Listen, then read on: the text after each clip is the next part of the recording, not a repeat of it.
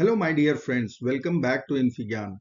In this video we are going to take up another very very interesting question from rational equations and I will be solving for the real values of x.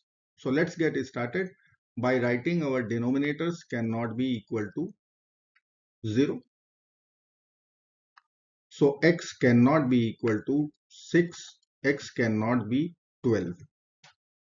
Now I will check our equation at x equal to 0. So LHS will become 0. RHS is 6 which is not true. So we can conclude x cannot be equal to 0 for our given equation.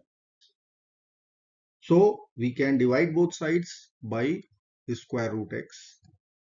Let's divide square root x square root x. Let's multiply. I will get 1 over x minus 12 minus 1 over x minus 6 equal to 6 over square root x. Now we will take LCM x minus 6 times x minus 12.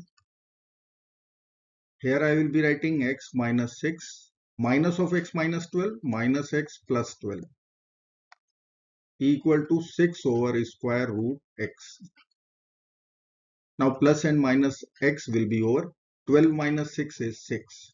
So we will get 6 over x minus 6 times x minus 12 equal to 6 over square root x. Now we can divide both sides by 6. This 6 will be over from both the sides. So we will get 1 over x minus 6 times x minus 12 equal to 1 over square root x. Now I will flip our numerator and denominators. So we will get x minus 6 times x minus 12 equal to square root x. Now x minus 6 can be written as x minus 9 plus 3. Minus 9 plus 3 is minus 6. Here x minus 12. We will write x minus 9 minus 3 equal to square root x. If I will consider x minus 9 as a and 3 as b, then we have a plus b times a minus b form. So we can use difference of two squares formula. We will write x minus 9 whole square minus 3 whole square equal to square root x. Or we can write x minus 9 whole square minus 9 equal to square root x. I will subtract 9 and add 9. Now we can consider our substitution. Let us say x minus 9 equal to y. So here we will write y and here also we will write y as y square.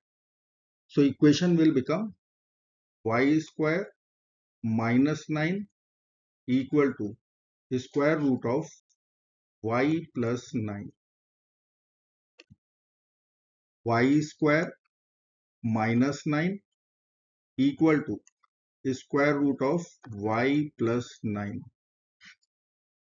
Now we will consider squaring both sides. So let us put power 2 over there on both the sides. Now right hand side is square root and square will be over. So we will get y square minus 9 whole square. This will be equal to y plus 9. Now I will subtract y square from both the sides. So I will write here minus y square minus y square. Now in LHS difference of two squares formula will be on. So I will write here y square plus y minus 9 in one bracket y square minus y minus 9 in other bracket and right hand side if I will take minus common out then we will get y square minus y minus 9. Now take all the terms to LHS we will get y square plus y minus 9 times y square minus y minus 9 plus y square minus y minus 9 equal to 0. Now we can take y square minus y minus 9 common out. So y square minus y minus 9 is common. In other bracket, we'll get y square plus y minus 9 plus 1 equal to 0. Or we can write y square minus y minus 9 times y square plus y minus 8 equal to 0. So from here I can conclude two equations. First one is y square minus y minus 9 equal to 0 and second equation is y square plus y minus 8 equal to 0. Let's solve both the equations using quadratic formula. I will write formula once minus b plus minus square root b square minus 4ac over 2 times a.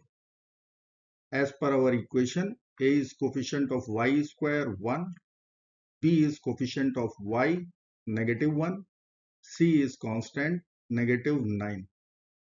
So we will get y equal to minus of minus 1. So plus 1 plus minus square root of minus 1 square is 1 plus 4 times 1 times minus 9. So which will give us 36.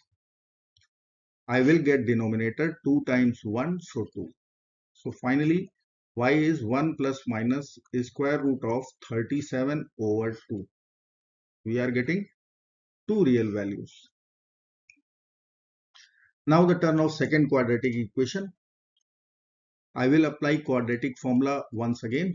Minus b, so minus 1 plus minus square root of 1 square is 1 minus 4 times 1 times minus 8 plus 32 over 2 times 1 so 2 we will get y equal to negative 1 plus minus square root of 33 over 2. Again we have two real solutions. Now we have to check whether we have to accept all four or not. So I will write our equation. Let me write our solution once y equal to 1 plus minus square root 37 over 2 and minus 1 plus minus square root 33 over 2. Now I will write our equation x minus 6 times x minus 12 equal to root x square root x. So from the condition of RHS this radicand must be positive. So I will write x must be greater than 0 from our RHS. From LHS, this product should be greater than 0. So I can write two condition. Either x should be greater than 12 or x should be less than 6.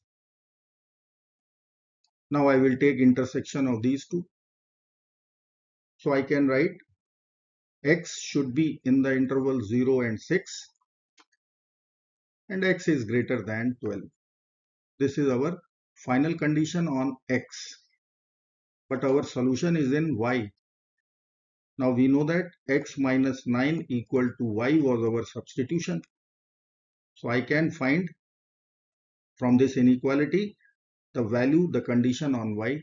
So I will be subtracting 9 to this inequality. I will get x minus 9, 6 minus 9, 0 minus 9 from this condition. So x minus 9 is y so y should be in the interval minus 9 and minus 3. If this is true, we will accept solution. Second condition will be from here. I will subtract 9. x minus 9 is greater than 12 minus 9. So this is y. y is greater than 3. So there are two conditions.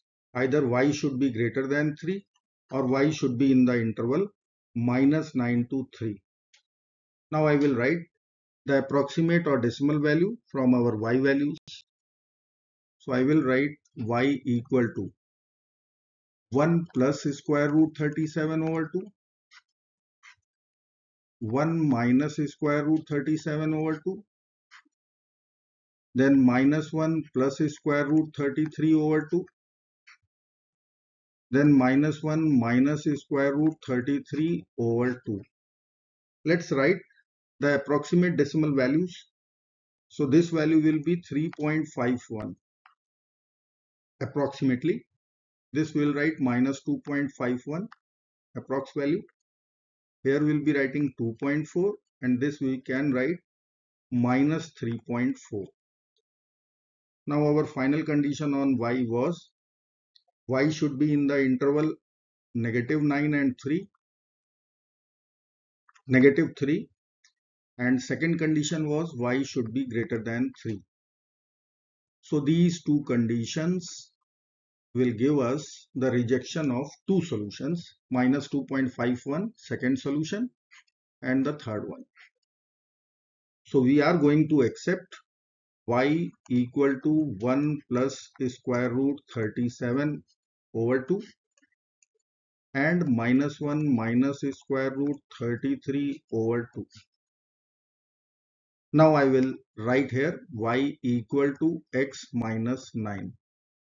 So this is equal to x minus 9 our substitution. So to find the value of x we have to add 9 to both sides. So we will get x equal to 1 plus 18, 19 plus square root 37 over 2 minus 1 plus 18 so 17 minus square root 33 over 2 these are only accepted solutions for our given rational equation. I hope friends you will like this video. Thank you so very much for watching. Do not forget to like share and subscribe. Bye bye till next video. Good luck. Take care of yourself. Goodbye.